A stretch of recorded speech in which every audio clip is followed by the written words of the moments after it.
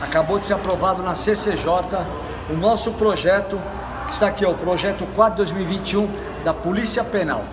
Não ganhamos a guerra, ganhamos uma batalha. Já passou pela CCJ, todos aprovaram, sem ninguém discutir. Aliás, parabenizaram aí que acham que todos merecem vocês serem Polícia Penal.